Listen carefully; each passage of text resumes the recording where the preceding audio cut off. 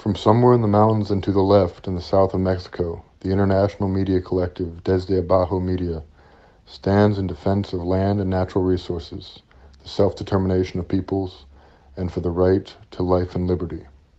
Our objective with this project is to build solidarity and relationships of sincere understanding between social movements in the global south and the left and the north. We make it manifest that we understand the danger and risk implied in being the voice of the voiceless, as well as to communicate and do journalism in any part of the Americas, but particularly in Mexico, since in recent years and months many journalists have been assassinated in Mexican territory. It is because of this danger that we cover our faces, to protect our identity, to avoid the risk and misfortune of being disappeared or assassinated by the state and capital.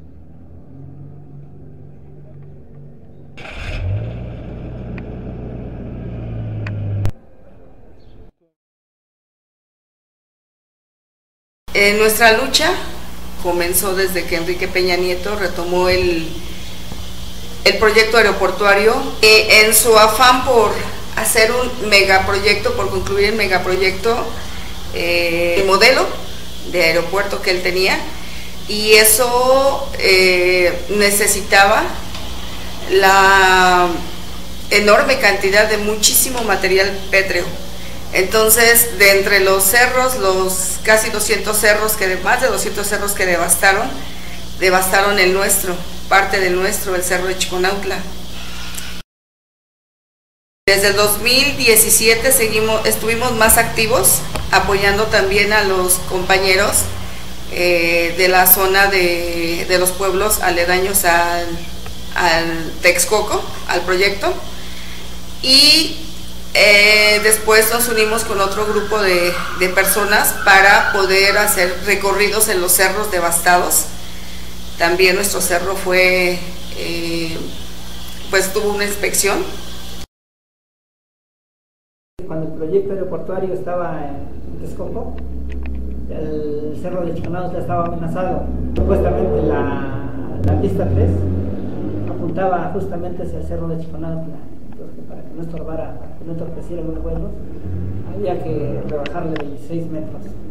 Pues bueno, esto nos llevó a, unir fuerzas con los compañeros de Atenco, de Pueblos Derecho de la Tierra, y junto con ellos recorrimos los pueblos de Temascalapa, Teotihuacán, acá de Tecámac, entre otros pues. lo máximo que llegamos a hacer con ellos fue un foro aquí en Acolman, en el pueblo de Santa Catarina, pero, pues sí le surgió corazón guinda.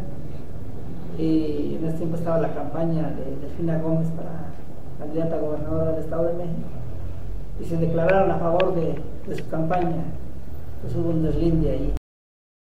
Después empezamos a organizar foros eh, con, el, con varios participantes, entre ellos el hoy, hoy fallecido doctor Rafael Huizar Álvarez, que era hidrólogo. Eh, se contactó a, varios colectivos, son los que apoyaron, colectivos algunos de la UNAM y algunos de otros, de otros lugares. Y bueno, ya después se vienen las elecciones para, un año después para presidente de la República, gana Andrés Manuel López Obrador la, la candidatura nos enteramos de la consulta que convocó para el 25-28 de octubre del, 2018 y desde que nos enteramos nos opusimos a ella ese año, hicimos nuestra primera movilización, la primera manifestación que hicimos en contra de la construcción del aeropuerto en Santa Lucía fue el 16 de septiembre del, del 2018. Ah, nos manifestamos en la pirámide del Sol. Tiempo después anuncian la, consulta Andrés Manuel en su campaña y se realiza en, en octubre, aún siendo presidente de la República Enrique Peña Nieto. Pero nosotros hicimos un, un movimiento, un meeting ahí en el 16 de septiembre en la Pirámide del Sol, eh, protestando y denunciando lo inconstitucional de esa consulta.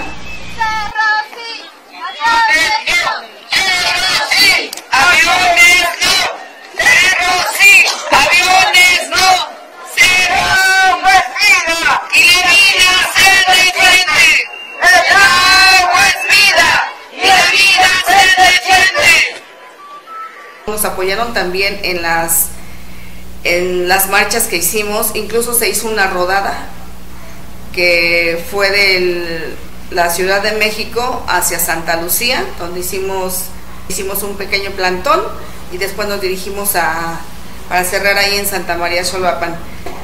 Y bueno, llega la, desgraciadamente llega la, pandemia y empezamos a, a bajar un poco el ritmo de las actividades, pero ya para inicios de ese año em, nos invitan a participar a una, en una reunión em, para, eh, para organizarnos con los pueblos de, de Tequisquiac, de algunos pueblos de Zumpango, de Apaxco, de Huipostla, eh, precisamente por la construcción de este megaproyecto que está causando muchísimo, muchísima devastación. No va, ya la está causando.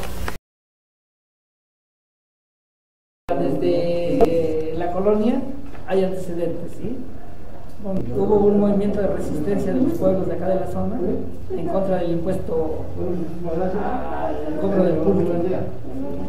buscaron el amparo de las autoridades para dejar de pagar ese el impuesto que les cobraban los asentistas, que eran los representantes de Hacienda, de la Hacienda colonial. Pues. Tiene esa tradición cultural, el pulque, la, chiquería, vamos a nombrarle ahora, pues.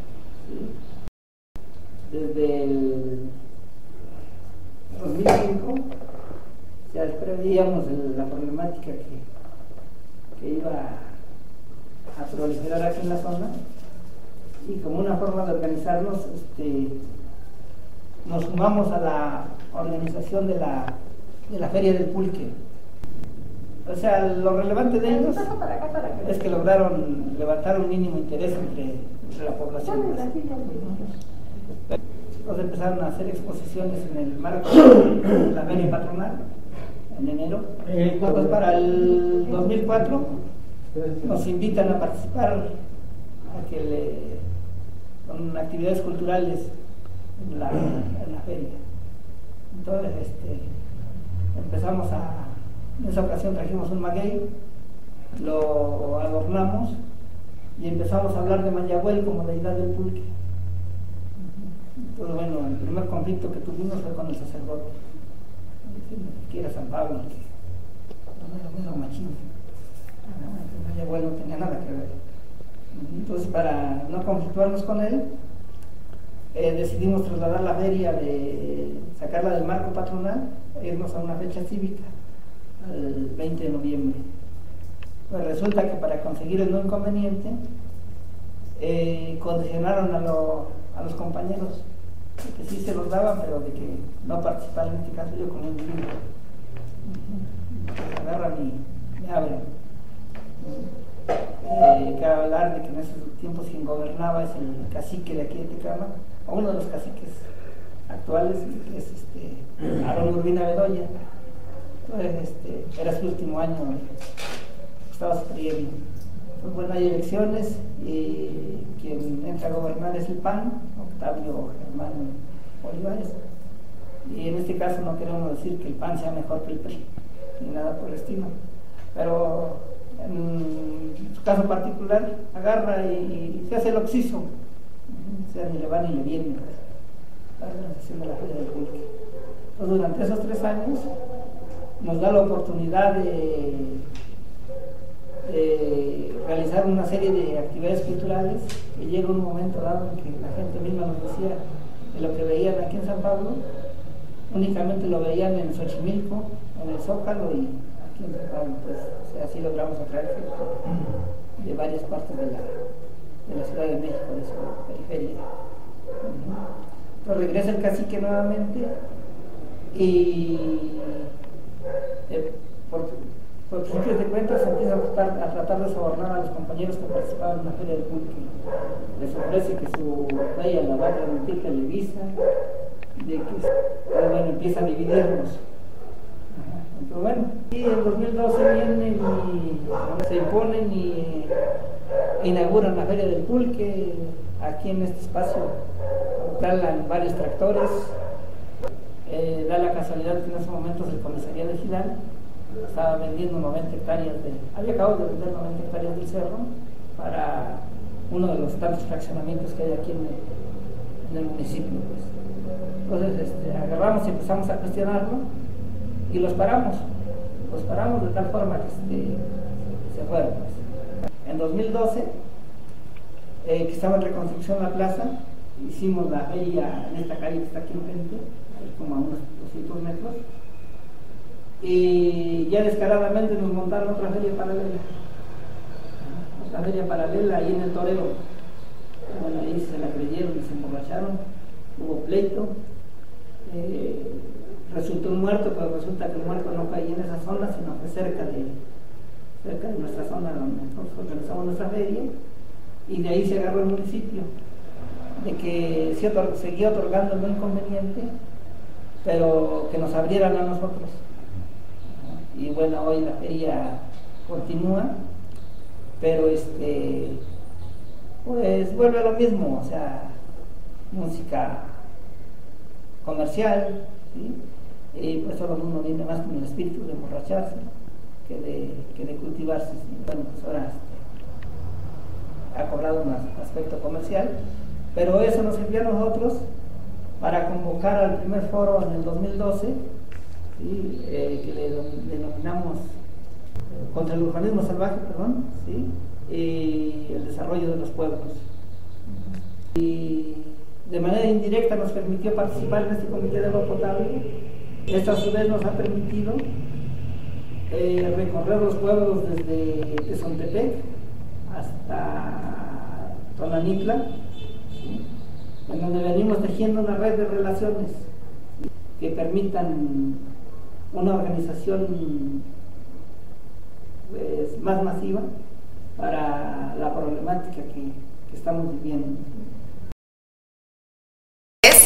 Que una vez que anuncian en el 2018 que el aeropuerto, después de la farsa de consulta de Andrés Manuel, se pasa de Texcoco a Santa Lucía, en ese momento empiezan a lotificar no solamente nuestro pueblo de San Pablo Tecalco, sino la mayoría de pueblos donde todavía tienen territorio para lotificar, del municipio de Tecámac y también de Zumpango.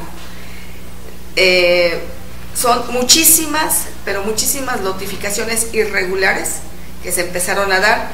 Por supuesto, lo que a nosotros no nada más la notificación irregular nos preocupa o nos ocupa, sino que toda el agua que va a necesitar, se va a necesitar para poder abastecer a las nuevas notificaciones que se están dando, incluyendo la fraccionamientos, ¿eh? que, que en otras comunidades también llegaron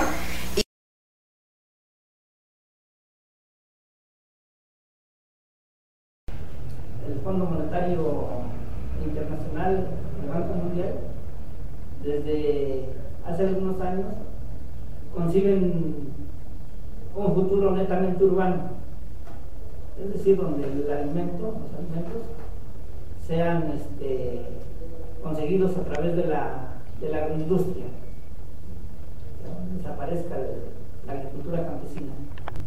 En ese sentido de que vienen impulsando corredores habitacionales, la, ellos denomina la nueva agenda urbana 2030, o la nueva agenda urbana 2030.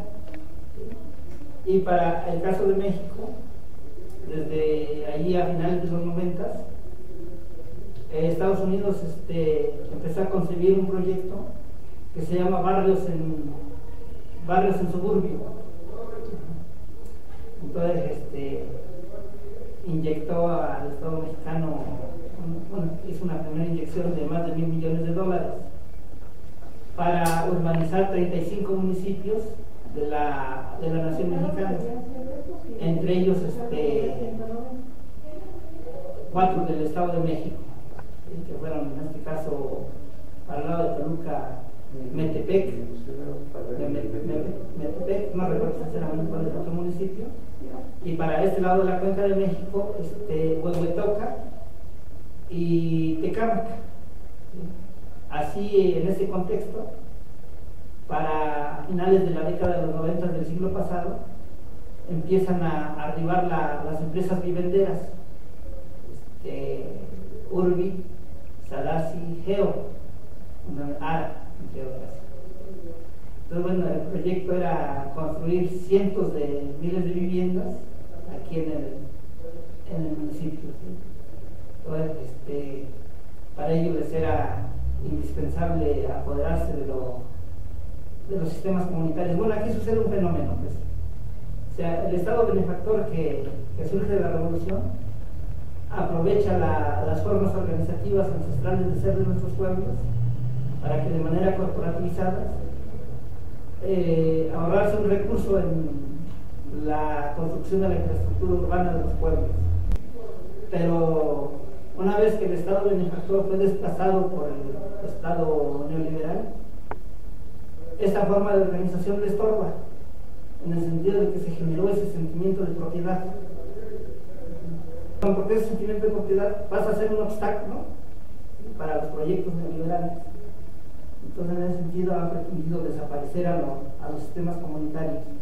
Para la cabecera municipal de Ticama, inventar un, un organismo particular que en un momento dado desplazó al sistema comunitario de Ticama y tuvieron, tuvo que estar esta gente en plantón varios meses frente al Palacio Municipal, tuvo que hacer una serie de movilizaciones para recuperarlo.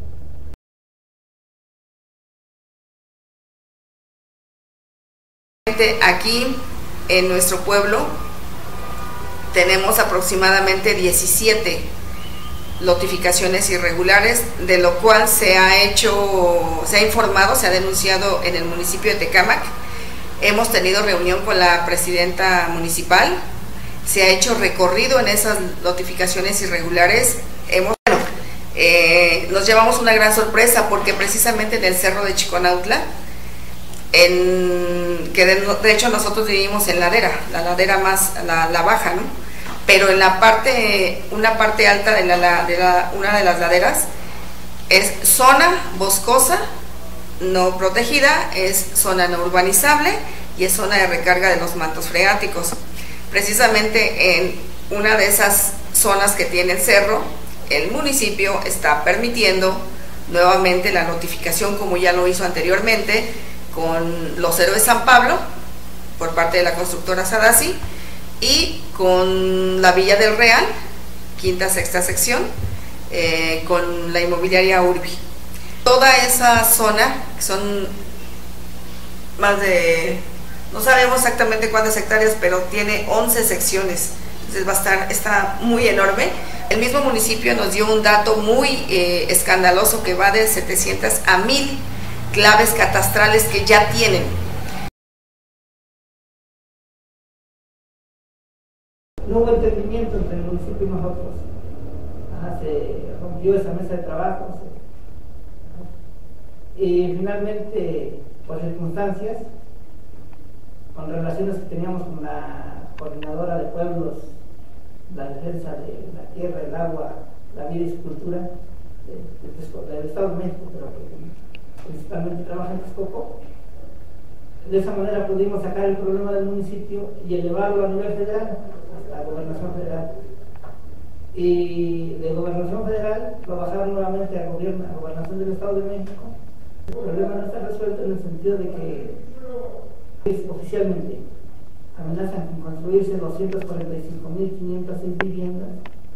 Ahora como, un, este, como una obra asociada al Aeropuerto Internacional de Santa Lucía, hoy Felipe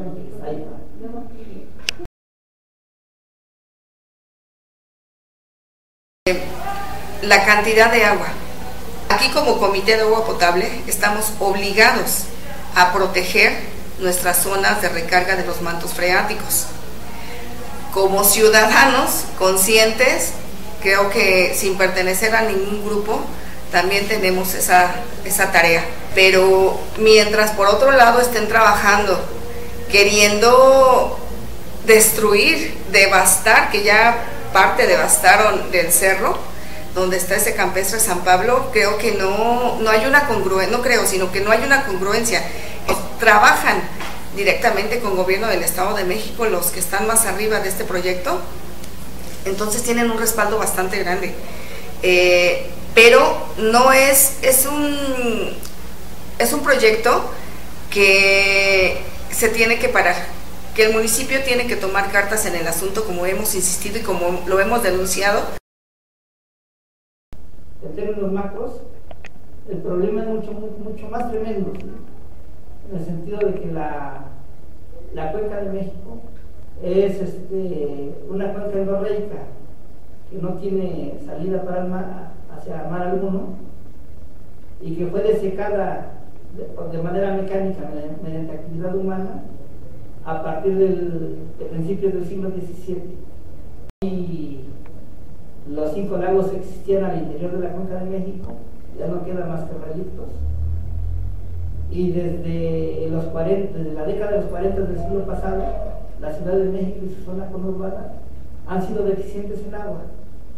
Se ha tenido que traer, esto que ha traído como, como consecuencia de que la Ciudad de México, o sea, desde la desecación de los lagos, perdón, la Ciudad de México se haya hundido 5 metros debajo de sí misma. si bien es cierto que con todo este sistema de agua, con importar agua de otros lugares hacia la ciudad y su zona conurbada, se ha frenado el hundimiento del centro de la ciudad, pero este hundimiento se va expandiendo hacia su periferia. Por ejemplo, Chalco se hunde en un promedio anual de 40 centímetros, Xochimilco se hunde 18 centímetros, eh, acá para donde nos encontramos está el pueblo de San Pedro Atzompa. Ahí hay una fractura de cerca de 500 metros de longitud. No se tomó en cuenta este, este, impacto este, acumulativo, perdón, cuando se diseñó la manifestación de impacto ambiental. Tanto la Serena, la Semarnat y todas las instituciones responsables reconocen de que el padece un déficit anual, pues por lo mismo pretenden traer agua, reimportar el agua que se expulsa en el sistema de drenaje hacia el Valle del Mezquital, hoy pretenden reimportarla hacia la cuenca de México.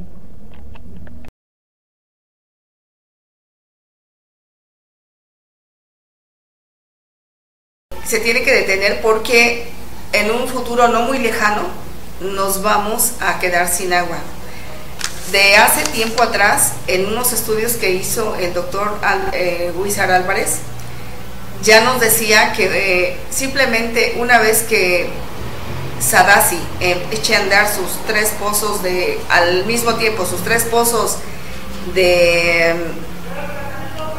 ay, se me fue el nombre, de extracción, perdón, sus tres pozos de extracción, en, en un lapso aproximado de 10 años, nos quedaríamos, bajaría mucho el nivel de, agua potable. Entonces, eso, esa parte nos preocupa mucho. Tiene trabajando ya uno, obviamente está una profundidad muy grande porque pues está en una zona alta del cerro y eh, tiene 18 pozos, 15, perdón, 15 pozos de absorción.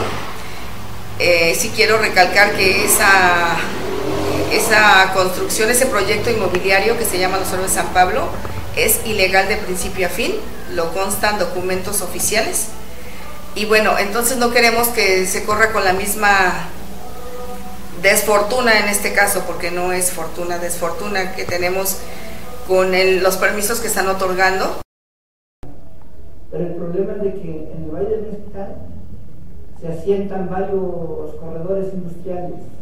Él produce la tercera parte, por ejemplo, de cemento a nivel nacional creo que por petróleo andamos al mismo nivel. Ahí está la, la, refinería, está una termoeléctrica. Y entonces, bueno, se ha preocupado ante esto, como vecinos del Cerro de Chiconautla, como organización de los 12 pueblos originarios de Ticama, hemos pedido información oficial a la Conagua respecto a la calidad de agua que impera en el Valle Mexicano. En un principio se negó a proporcionarnos información. Pues bueno, casualmente compañeros nuestros habían encontrado un diario oficial donde se daba a conocer el, el acuífero Valle Mexicano y donde decían que le habían hecho diversos estudios, señala la calidad del agua y resulta de que el agua en esa zona está mezclada con hidrocarburos, con el arsénico, el plomo, el cadmio, se encuentra por encima de las normas oficiales mexicanas y este, incluso en la zona de Tlahuelipa el agua se ha detectado agua con radiactividad.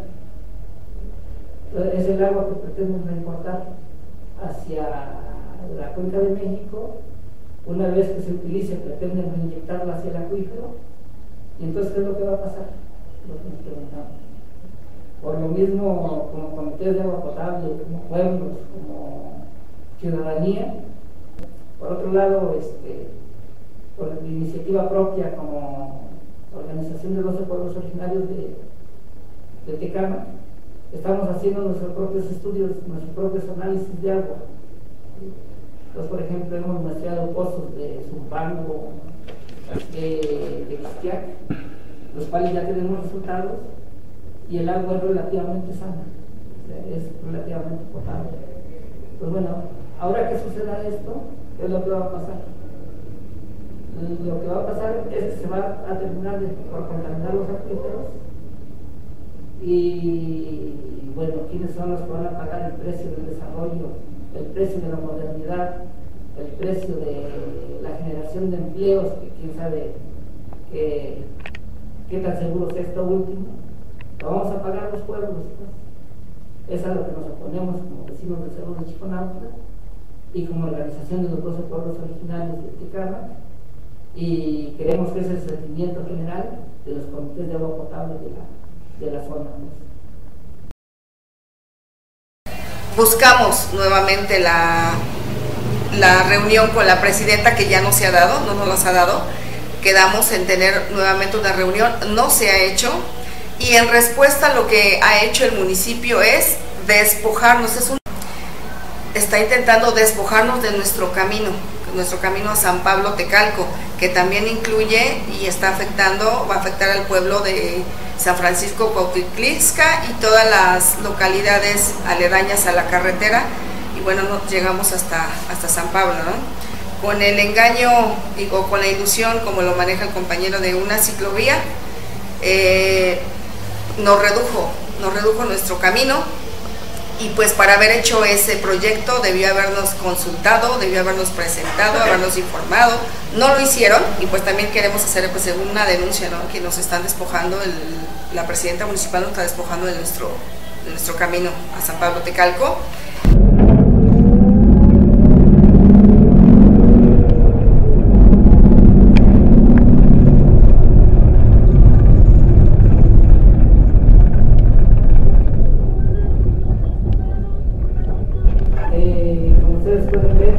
Pueblo periurbano, es decir, un pueblo originario que cada vez está siendo más devorado por la, por la urbe. Y esto ha venido atropelando nuestra, nuestra forma de ser. Sin embargo, todavía se encuentra presente parte de nuestra, de nuestra memoria histórica. En ese sentido podemos decir que somos un, un pueblo de origen teotihuacano. Eh, esto lo, lo, podemos demostrar desde el aspecto arqueantropológico. El Cerro de Chiconautla, y en él podemos encontrar desde sistemas de terraceo, que son de, origen teotihuacano, una práctica de agricultura intensiva. Eh, tenemos varios sistemas de cruces punteadas, también son de origen teotihuacano antecedentes de lo que podría ser hoy uno de los calendarios mesoamericanos, pues, por donde quiera que caminemos fuera del pueblo, vamos a encontrar este, fragmentos de cerámica desde el periodo clásico teotihuacano. Eh, también podemos encontrar cerámica de lo que los arqueólogos llaman el periodo Coyotlatenco o epiclásico, es decir, desde cuando desaparece Teotihuacán y el florecimiento de Tula. Y ya posteriormente podemos encontrar este, cerámica que pertenece al horizonte posclásico, es decir, a los aztecas en sus tres etapas. Pues bueno, ¿eso qué quiere decir? Una vez que se establecieron las primeras aldeas aquí en nuestra zona, hay una continuidad hasta nuestros días, independientemente de, los acontecimientos históricos que han venido sucediendo, la conquista, la colonización en este caso, la reforma, la, revolución, eh, ha habido una continuidad desde mil años antes de Cristo. Pues bueno, hoy nos encontramos en ese proceso de que lo ancestral que se refleja, por ejemplo, en el sistema de fiestas de los pueblos. Es una característica de los pueblos mesoamericanos, es una forma de recrearlo, nuestras formas de ser ancestrales, hoy en, en medio de la urbe. En el medio urbano, donde uno se preocupa únicamente por lo que sucede entre sus cuatro paredes, eh, y no hay colectividad. Ya no, no hay preocupación por enfrentar la, la problemática colectiva. Entonces estamos ante esa disyuntiva. O recuperamos nuestra memoria histórica o dejamos de ser pueblo. Sería otra cosa de la Feria del Pulque, perdón. Logró despertar ese, ese sentimiento de identidad y hoy los jóvenes nuevamente buscan el pulque pues y una vez surgiendo ese sentimiento de identidad con el territorio existe esa voluntad de ofrecer una lucha de resistencia en contra de los, proyectos que nos quiera poner, imponer, sí, o ese aeropuerto, o sea desarrollos inmobiliarios, etcétera, etcétera. decimos, lo primordial sí, es reconstruir nuestra identidad cultural, reconstruir nuestra memoria histórica y dentro de esa identidad cultural se encuentra presente pulques como el agua bendita para, decimos que el pulque ha, ha sido un, una herramienta de lucha, lucha de resistencia en contra del urbanismo salvaje que hoy no, nos están imponiendo desde la institucionalidad.